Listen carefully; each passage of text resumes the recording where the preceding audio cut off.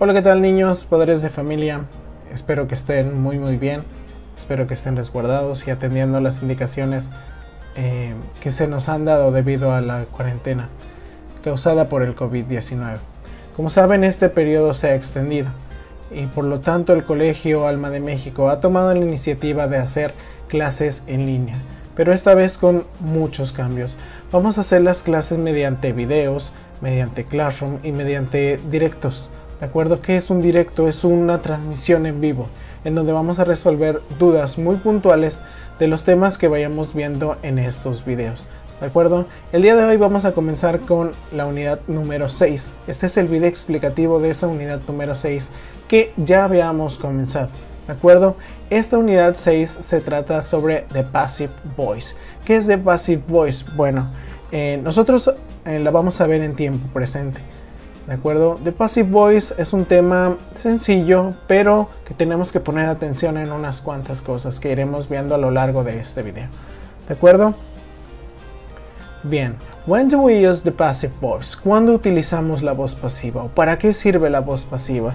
Bueno, cuando queremos enfatizar eh, o queremos dar más importancia a la acción y no a la persona que lo hace, es cuando utilizamos la voz pasiva, ¿de acuerdo? Muchas veces confundimos la voz pasiva y la voz activa, ¿de acuerdo? Vamos a explicar qué es una voz activa.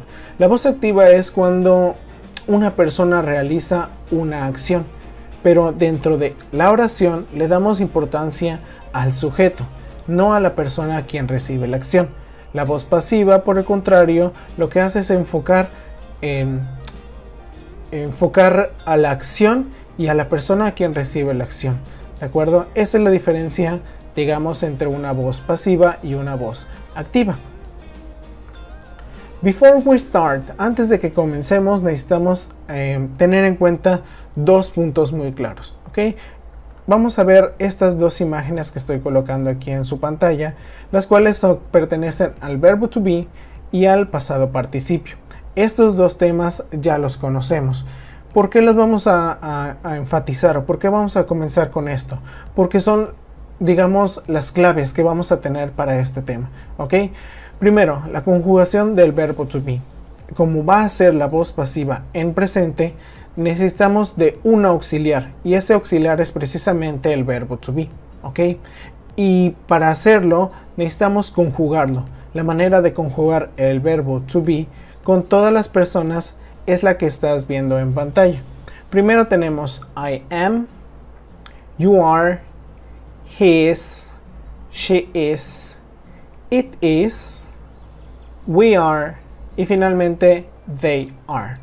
Y la otra cosa importante o el, segundo punto que debemos de tener siempre en cuenta es el pasado participio. ¿Qué es el pasado participio? Bueno, cada uno de los verbos en inglés tiene tres formas. La primera que es en presente, la segunda que es en pasado y la tercera es el pasado participio. De hecho, el pasado participio también se le conoce como la tercera forma del verbo. ¿Ok? ¿Cómo sabemos o cómo vamos a hacer para em, formar esta tercera forma del verbo? Para formar el past participle o el pasado participio? Bueno, depende. Depende si el verbo es regular o es irregular. Si es regular, se forma al igual que el pasado simple, que es agregando ed ¿ok? al verbo. Por ejemplo, el verbo work. Work es un verbo regular, por lo tanto, al agregar ed se convierte, convierte en worked. ¿De acuerdo? Ese es el pasado simple y también el pasado participio. Sin embargo, existe otra clasificación de verbos que es eh, los verbos irregulares. Estos verbos irregulares no siguen la misma regla que los verbos regulares de agregar ed para transformarlos en pasado simple o en pasado participio, sino que tienen su propia terminación. Hay varias terminaciones. Normalmente recuerdo que en el salón de clases decían, ah, todos terminan con en, pero eso no es así. Algunas terminan con u, algunas terminan con eh, A. Existen varios tipos de clasificaciones, ¿ok? No todos terminan con EN. Y en la imagen tienes unos ejemplos de los pasados participios de los verbos irregulares awake, be, become y toda la lista que está debajo. Por ejemplo, awake, que es em, despertar, lo vamos a pasar en pasado como awoke y en pasado participio como awoken. Uno más común que sería el verbo catch, catch que es atrapar. Eh, sería en pasado participio caught y también en pasado simple caught. Uno más el verbo do que pasa a ser did en pasado y done en pasado participio. ¿De acuerdo? Bien. ¿Cómo formamos eh, la, voz la voz pasiva en presente? ¿De acuerdo? Ahorita no nos vamos a meter con otros tiempos, nos vamos a enfocar en la voz pasiva solamente en presente. Consta de tres pasos, ¿de acuerdo? Y estos pasos son sencillos porque siempre, digamos, van a seguir el mismo orden. Primero es un sujeto, después el verbo to be en presente, ya lo vimos en la tabla anterior, y el tercero es el pasado participio.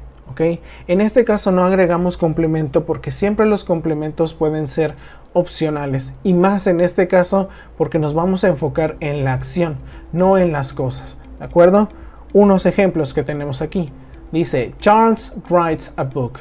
Esta es una oración en voz activa. ¿ok? Significa que tenemos un sujeto que realiza una acción y en este caso tenemos a un objeto a quien afecta. De hecho, em, lo vamos a clasificar de la siguiente manera. Sujeto, quien hace la acción, el verbo, la actividad que se realiza, y un objeto. El objeto es la persona que va a recibir la acción del verbo. ¿De acuerdo? Eh, Charles writes a book, voz activa. Charles escribe un libro. ¿Ok? ¿Qué pasa cuando lo transformas en voz pasiva? Bueno, ya no nos vamos a enfocar en Charles, sino en la acción y quien recibe la acción, en, la, en el verbo y en el objeto, ¿de acuerdo? Entonces, a book is written by Charles. Un libro es escrito por Charles. En este caso, no estamos hablando de quién hace la acción, sino de la acción misma. Eh, ¿Cómo formamos aquí en este ejemplo la voz pasiva, bueno, colocamos a book, que sería el objeto quien recibió la acción en la voz activa, is written, que es el verbo to be conjugado en presente, y el pasado participio del verbo write, que es written. En un segundo ejemplo tenemos Charles cleans the window y vamos a seguir la misma línea, la misma temática. Tenemos a Charles cleans the window Charles limpia la ventana, o en este caso las ventanas, tenemos este, esta oración en voz activa, ¿de acuerdo? Porque nos enfocamos en Charles, que es el sujeto. Ahora vamos a transformarlo en voz eh, pasiva y vamos a dar realce a la acción que se hizo, que es The windows are cleaned by Charles. ¿Ok? By Charles. Eh, en este caso estamos diciendo que las ventanas son limpiadas por Charles. En español es básicamente lo mismo. ¿ok? Y ahora muchos empezarán a decir, bueno, pues es que es como poner em, al principio lo que venía al final en la voz activa y al final lo que venía al principio en la voz activa y pues realmente sí, eso es, em, digamos, poner al revés la oración, darle la vuelta, pero agregando dos verbos. Ya no nos vamos a enfocar solamente en uno como en la voz activa, sino que vamos a utilizar dos para la voz pasiva. El primero que es el verbo to be y el pasado participio sería el segundo. El verbo to be recuerda que es solamente un auxiliar, no significa que va a reemplazar a tu verbo principal. ¿Ok? Ten eso en mente. Ahora, si nosotros queremos hacer una... Eh, una oración en voz activa, como les decía hace un momento, vamos a, entre comillas, poner las cosas al revés. En lugar de decir la persona quien hace la acción como objeto principal de tu oración, vas a poner a quien recibe y al verbo eh, como, digamos, actores principales de tu oración en la voz pasiva. I write a book. Yo escribo un libro. A book is written by me un libro es escrito por mí. ¿Ok? Aquí estamos dando realce a que se escribe el libro, no tanto quién. De hecho, En la voz pasiva, si tú omites quién hace la acción, está completamente eh, eh, permitido. ¿Por qué? Porque estamos buscando enfocarnos en la acción y no nos estamos viendo, no nos estamos yendo hacia eh, la persona quien hace la acción. ¿Ok? Entonces tenemos que, que tener en mente esto. Vamos a estarnos enfocando siempre en las acciones y en las personas que reciben la acción, no quien lo hace. ¿De acuerdo? Bien niños, tenemos eh, actividades que vamos a estar subiendo que voy a estar subiendo en la plataforma de Classroom. Sigan por favor atentos eh, todos eh, los días que, que, se están programando para que puedan enviar sus clases a tiempo. Se va a fijar un horario y se va a fijar una fecha en la que ustedes pueden mandar sus trabajos. ¿De acuerdo? Muchas gracias, espero que te haya servido este video, espero que eh, nos veamos pronto, que todo esto pase tan rápido como sea posible y volver a vernos en clase. Cuídate mucho un saludo.